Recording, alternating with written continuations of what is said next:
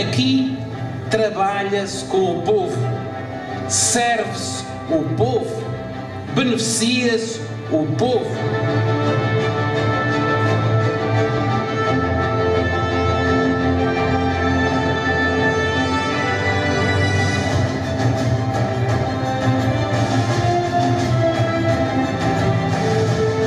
que um governante tem é quando nós podemos interferir na vida de cada um no sentido de lhes proporcionar uma nova fase positiva da sua vida.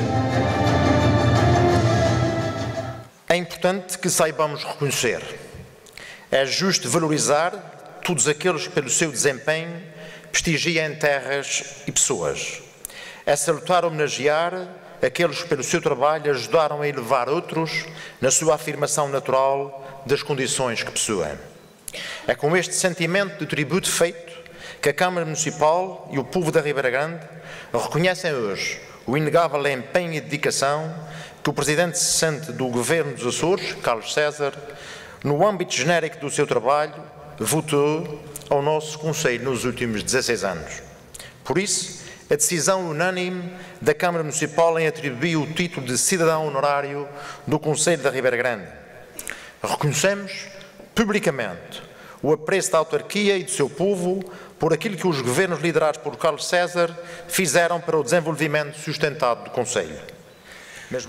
Começando por, eh, naturalmente, agradecer hum, ao Sr. Presidente da Câmara, em especial, a sua iniciativa de propor esta distinção e também de agradecer de forma muito sincera aos eh, autarcas, representantes do Partido Social Democrata e do Partido Socialista, que trouxeram nesta distinção um valor muito acrescido no que me diz respeito.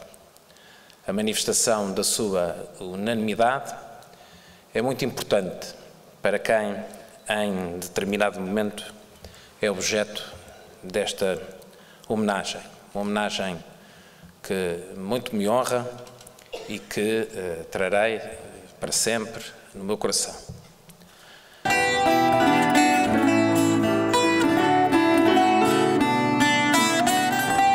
Ilha de Pedro da Silveira.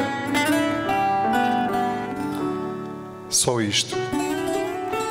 O céu fechado, uma ganhoa pairando, mar e um barco na distância.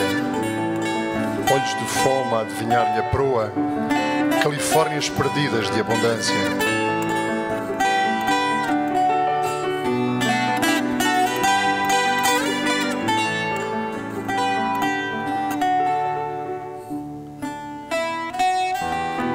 Solene a verba, antero de quental. Disse ao meu coração: Olha por quantos caminhos vãos andamos. Considera agora, desta altura fria e austera, os ermos que regaram nossos prantos. Pó e cinzas, onde houve flor e encantos. E a noite, onde foi luz a primavera. Olha a teus pés o mundo e desespera, semeador de sombras e quebrantos.